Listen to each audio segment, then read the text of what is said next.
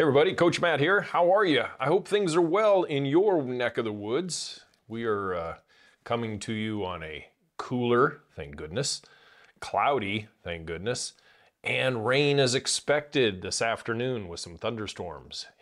yeah, very, very good. Landscape probability yesterday was very high.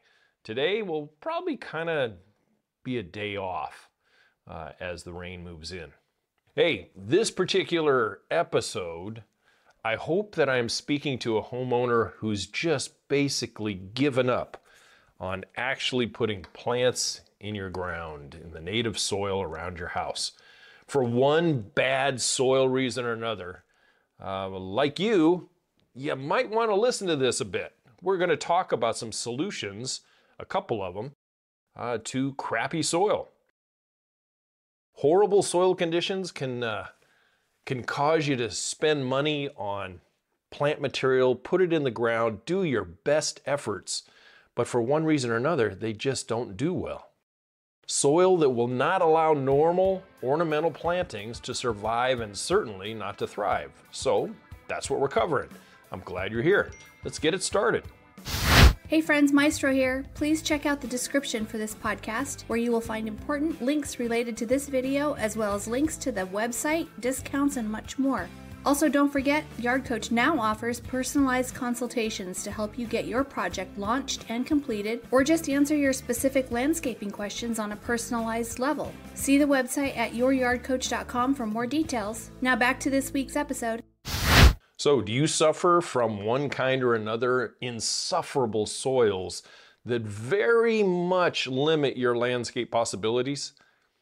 Maybe your house is in a great location, a great neighborhood, close to great schools, close to your work, no commuting, great parks and whatever, but the soil is for crap. It's just garbage, heavy clays, uh, lots of clay and rock and stuff that only seems to grow native trees and native weeds.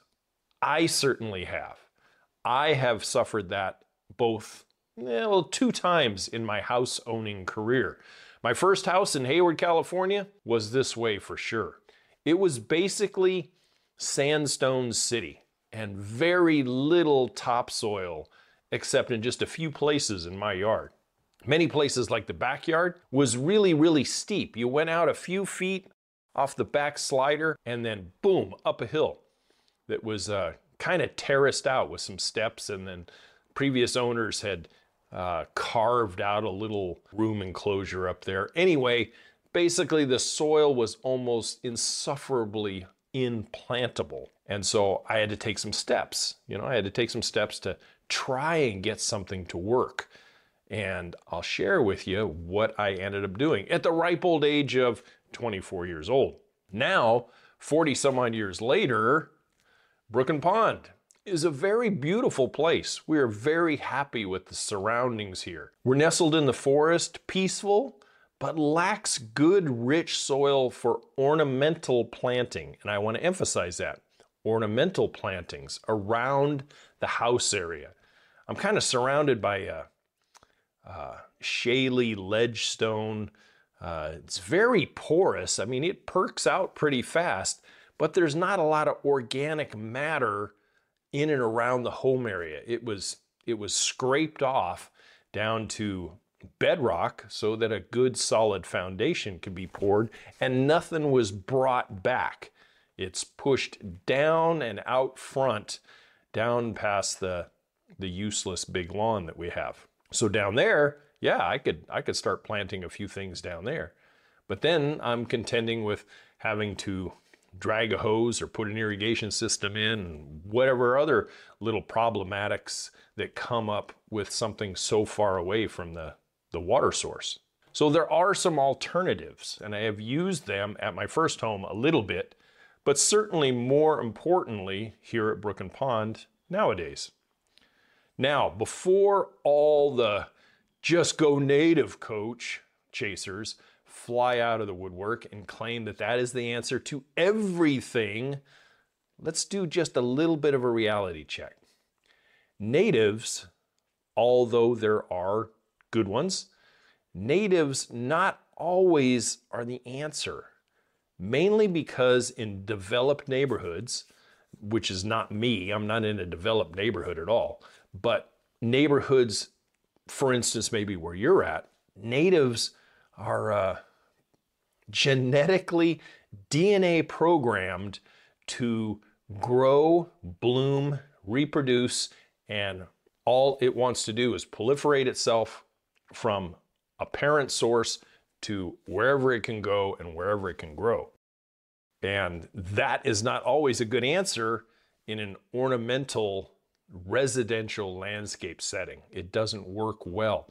It can take over your area, your immediate area, and then if it goes to seed or you allow it to go to seed, it can spread to your neighbors and your neighbors' neighbors and so on and so forth. Hence the reason dandelions are in the Arctic Circle as well as in the tropics, okay? Because those native plants just basically take over. So, um, natives are, they're just really not always the best choice. So, mm, yeah, try to do a little pushback on that. Okay, enough said for that. That that was the the only rant I have in this particular episode. The alternatives to bad soil conditions for me, for two of the homes that I've already mentioned, is a two-prong approach. First option is raised beds. And you've seen on a couple of the YouTube uh, episodes recently where we have created raised beds as opposed to trying to put things in the ground everywhere. Now, there are some places around Brook and Pond that we were able, like when we transplanted our green giant arborvitae on the hillside, there's enough soil there because it's not down on the bedrock where the house is that we were able to condition it up with some good planter mix and reestablish them there. Okay, so exception to the rule.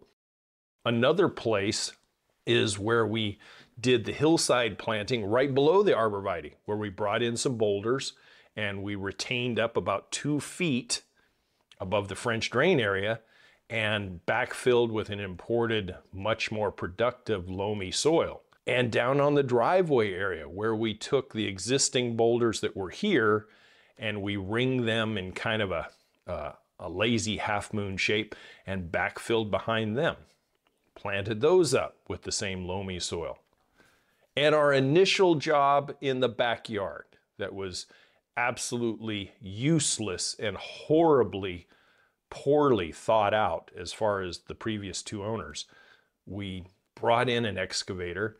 We dug down so that we had an open, relatively flat, not relatively flat, it was actually sloped from the house out to where the hillside was going to be. And then we took the, the tailings, the soil, and mounded it up near the utility pole. And you've seen the you've seen the project, you've seen the pictures. If not, check them out on the YouTube channel. And then we boulder ringed around those to retain it. And the excavation tailings were good enough where if we use some good organic planter mix and stuff, it's very plantable and it's working. All three projects, actually four projects, are doing really, really well. So the raised bed approach to landscaping can be small in scale. You know, we've all seen raised bed vegetable gardens, but you can also do raised bed larger landscapes as well. You can do the the boulder situation like what I've done and done for many, many years. You can also do uh, small retaining walls. You can do multi-tiered wood construction, raised beds, and bring in uh, imported good soil and grow your landscape in a much more controlled environment and in a much more productive environment by getting up above that crappy native soil that just is a headbanger to try to conquer. It really is. Now, one other example that I have here that's near the dwelling, it's along the garage wall uh, that kind of faces northwest, and that's where the arborvitae came out very poorly placed, but that's where the previous owner had planted them. So extracted those out and then enlarged the hole where they were at. They were actually growing there. They, they weren't they weren't unhealthy at all. And then I enlarged the hole and enriched it with a lot of planter mix and I let it set for about a month because that was early springtime. We were jettisoning out west and coming back. And when I came back, we eventually looked at the hole and it was pretty organic looking. It had native soil, it had some rock in there, which I pulled out, and we put in a little bit of the, the loamy loams and then planted hydrangea. We have five of the uh, endless summer hydrangea there, and they're doing fantastic. They're doing really good. So even though it's an exception to the rule there, we actually are getting good results.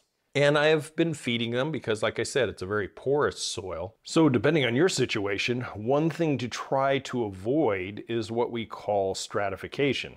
Stratification happens when we do a boulder retainer or a brick wall retainer or a wood retainer of some kind. And we create raised beds, but we have that native soil sitting underneath our beautifully cultivated, imported planter mixed with loam soil. And we have this very hard stratification right at the bottom. So if you have a shallow raised bed, say 18 inches or even two feet or less, it's a good idea to get out there with a pick and just break up the surface just a little bit before you dump your new soils in there. It will allow plants, especially trees, to penetrate as much as possible and not grow their roots vertically down and then horizontal without penetrating into the native soil that's there just a little bit. It will give you a stronger root system as far as plant, but especially tree stability, and not give you that weakened, uh, strong storm, fast growing tree and soft soil blowover situation. So try to scarify and break up that native soil just a little bit, just a, a couple inches is enough usually, and then go ahead and backfill and do your planting. So boulders are obviously not the only materials you can use for raised bed situation. You can use materials such as wood. Uh, if you do use wood for like a raised vegetable garden, I strongly suggest that uh, if you get a ground rated type of wood, that you encapsulate that and don't grow your vegetables in a chemically treated wood. That pressure treat and stuff, that copper arsenate and other materials that you use, I wouldn't want to be growing my food in places like that. So what you can do is you can uh, put a plastic barrier around it. You can put a drainage, like a foundation drainage type of lining around it, which would really preserve it for a much, much longer period of time. Simple six mil plastic will work, uh, but I like to have airflow in the beds itself. So you may find that uh, retaining wall type of stuff a lot better. Anyway, um, you, also use logs. You know, you can use uh, treated, not treated logs, but landscape timbers. You can use metal, you can use cement block, you can use poured concrete and forms to create yourself raised beds. So, you know, your imagination is the only limitation. Now, if you do go really raised, say you're on a hillside and you're going to terrace that thing out, and your first terrace is going to be like five feet tall, maybe six feet tall, definitely address the drainage issue there as far as hydraulic pressure that could build up behind such a wall. You can do that with stacked block. You generally don't have to do it as much with boulder retainers because there's so many cracks and crevices that water won't really build up necessarily behind them. But you can do it if you want to. But uh, generally, it's more for cement, it's more for stacked block, uh, certainly a poured uh, retaining wall foundation. Then you're going to want drainage behind it. The small hillside planting that I did here in the back, I did not have. It was only 24 inches high and there was so many gaps at the base of it any water that would be coming from thaw and snow melt next spring, it's just going to go right through the right through the base of the boulders anyway. So in your raised bed, your backfilling behind these new raised beds can be a quality soil from a professional supplier or good soil from neighbors, family, and friends that are looking to uh, offload some clean fill. Maybe they have a project where they're pouring a new shed pad or something and they've had to excavate out some good clean dirt. You don't want to bring the same crap, some other's crap to your place and uh, call it good clean fill. That's not going to get you anywhere. And you also have to remember the time of year. If you get good clean fill, make sure that it's not weed infested and weed seed infested. You'll always get a little something. It's very, very hard unless it's actually steam sterilized type of soil, which in a bulk soil material, that doesn't happen very often at all. So our second option to crap soil, and you could use it in conjunction with raised beds. Uh, what we have done here at Brook and Pond is we opted for another style of landscaping, and that's container landscaping. Uh, we went out and found a great deal at one of the discount stores here locally and found some big 20 gallon plastic pots and some smaller five gallon square pots that uh, are black in color, black plastic. They're decorative. I mean, they're not the highest quality of quality, but they are certainly going to work for our application. And on the north side of the house and also the east side of the house, where there isn't much good stuff left, rather than banging my head against a wall, literally, and putting in expensive plants only hoping to get minimal response out of them, we decided to change it up a little bit and started to go container. And we went out and we got some great ivory halo dogwoods, some uh, dark summer wine nine bark. We got uh, quickfire hydrangea, some velvet moon hosta, some dark side of the moon spirea, and they're all planted up in a in these containers, and they're they look good. I mean, where in the ground, I don't think they would have looked as nice but elevated up into pots and fronting the dark charcoal gray sides of our house, they really pop and they, they contrast well and they go well with the grays and the blacks and the whites in our color motif.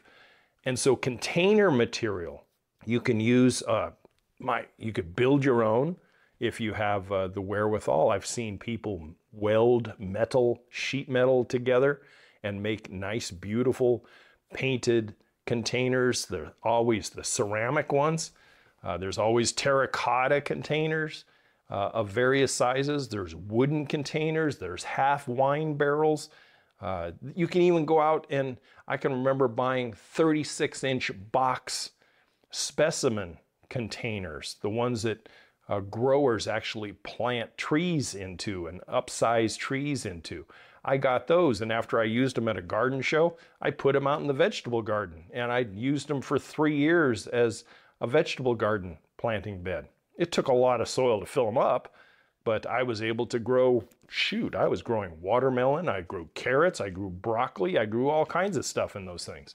So just another idea if you can source that kind of stuff. So with the containers we got, let, us compare cost a little bit and let's compare success and what what it means. Sometimes you have to pay for your success. So we we averaged about I think it was $175 for all the containers and we still have a couple left over. And then the most well, not the most expensive, but close was the potting mix for all of these containers. I bought 17 2 cubic foot bags of potting mix and then we went and got the plants. We spent about $400 on plants. Up here in northern Maine, man, there's there is a selection. There's box store selections, and then there's a small mom and pop nursery. And the mom and pop nursery had just got it going on. I mean, they they know quality plant material and they know how to take care of it.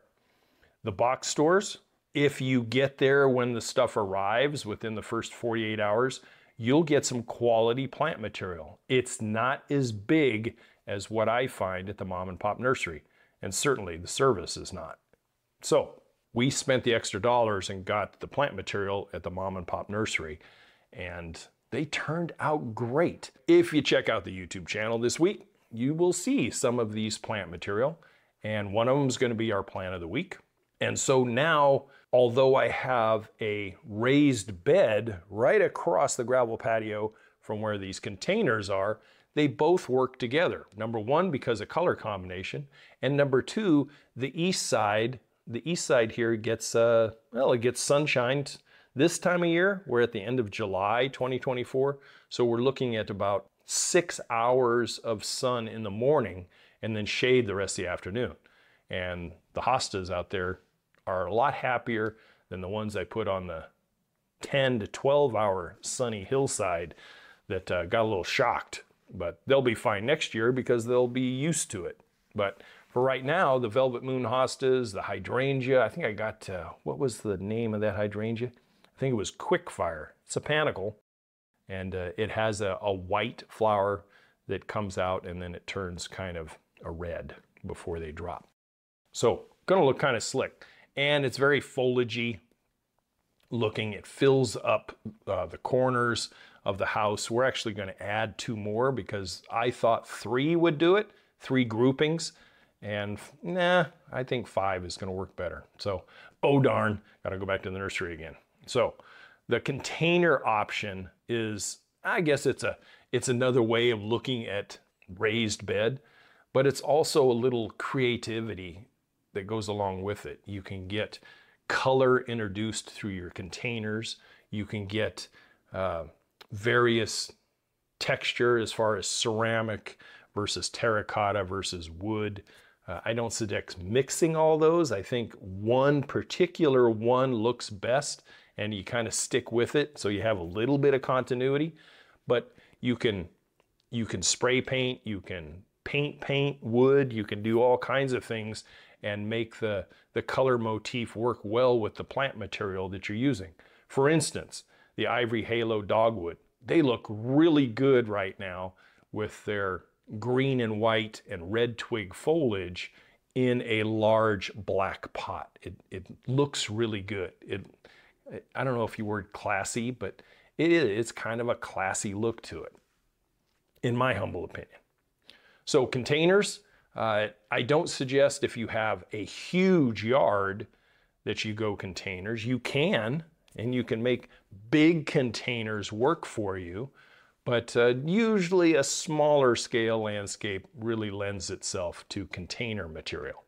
So keep that in mind. I mean, if you have a, a half acre lot and you're gonna go, I got crap soil coach, so I'm gonna do containers, try the raised bed approach first.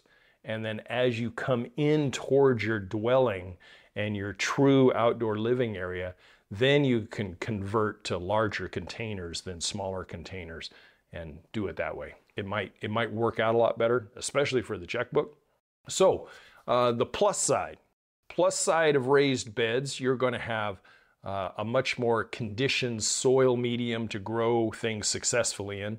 In containers, you're going to have a commercially produced, probably sterile type of potting mix that you can grow success in as well. So, what could possibly be the downside? The downside sometimes is that you are in control of everything. You're in control of the water, you're in control of the food, because Mother Nature isn't going to provide that for you from its native base, its native soil situation.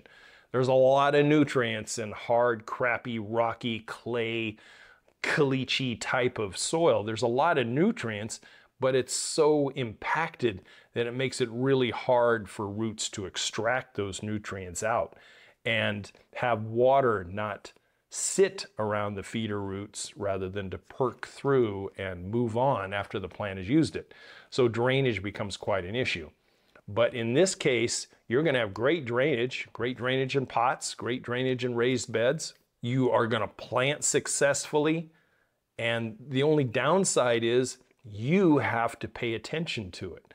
Container gardens are 100% uh, human managed. You can have rainfall be uh, part of your watering if it's out out in the open where the rainfall actually going to hit it. It's not under eaves or on a covered patio or something. But you have to check it. You have to manage the moisture levels in containers much more closely than you would if it was in the ground. Same with raised beds, depending on what style of raised bed you actually do, you're going to have to check periodically. And can you irrigate these things? Absolutely. Uh, drip irrigation with micro sprays and drip emitters, that kind of an automated system can really knock down the water management and water maintenance really, really quickly. You just have to know how to put them in. So if you have container gardens and you're a hose dragger like me, then you have to go out there, especially during the warmer months. Uh, there has been times where I have checked water in my raised boulder retained twice a day because it was June, July, and now almost August. I've gone out in the new plantings and checked them twice a day to make sure the moisture levels were good. And so far, so good.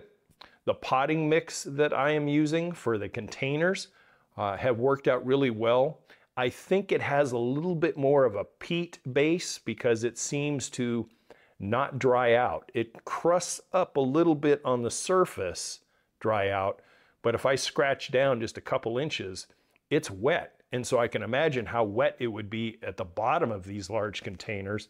And so I kind of I kind of hold off on watering uh, for yeah, a day. And I noticed one of the ivory halo dogwoods out here yesterday afternoon. It had a little bit of uh, direct sun and reflective heat off the wall, and she started to wilt a little bit. So I, I gave it a good drink and perked right back up without any problem.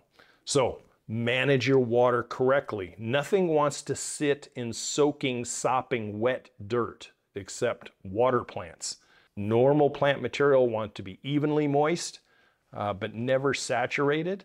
And make sure if you go containers that you make sure that they have an adequate drain holes in them.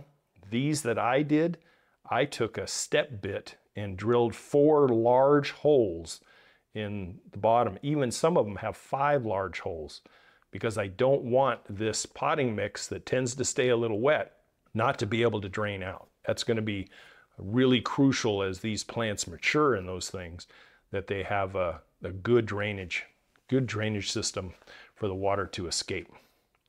So when you're looking at crappy soil, whether it be rocky, shaly, uh, clay type soil, what I have to fight here, or maybe Georgia red clay or Southwest Caliche sandstone, whatever it might be, you might want to uh, invest and look into creating your own raised bed type of landscape and raised bed gardens.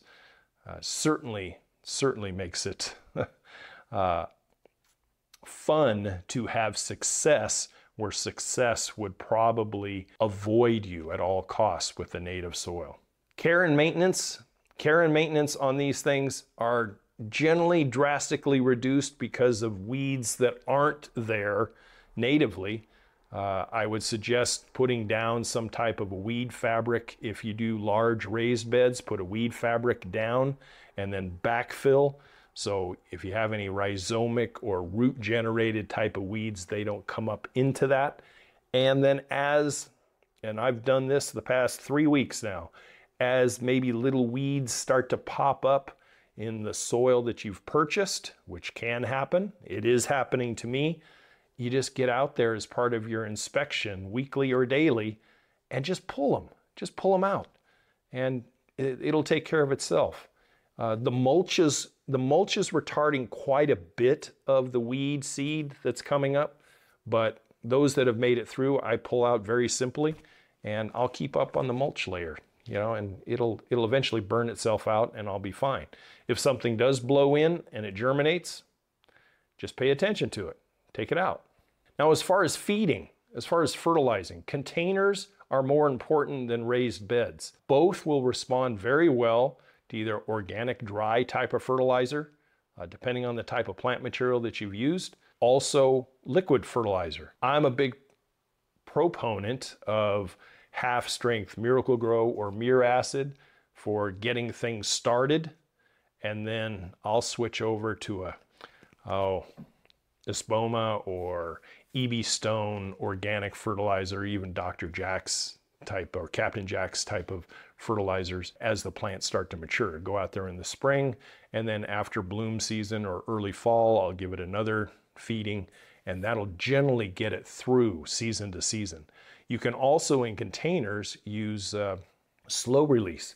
I've used Osmocote for, geez, 40 years as a slow release fertilizer in container plantings and does a really good job. It doesn't burn, it releases over the course of like six months and you can mix it up in the planter mix. If it doesn't come with it already, uh, you can mix it up in the planter or the potting mix and feed your plants that way. So, how'd I do? Is this something that you suffer from and that you might need to correct? Here's a couple of options. So, don't be afraid to think outside the box. But if you do suffer from crappy soil that is not going to allow you to grow anything except weeds, you might want to think about doing, doing it this way. Anyway, hey, don't forget to check out the video this week. We will go a little more in depth, at least visually. And don't forget to check out the website, youryardcoach.com. If you need a little lesson on how to do some landscaping, uh, boy, the book and the course are there, and also the checklist that I offer. And then also designing consultation. I have a consultation today with a gentleman in Wisconsin I'm looking forward to. So until next week, guys, I appreciate your time as always. To your landscape success, and I'll say goodbye for now.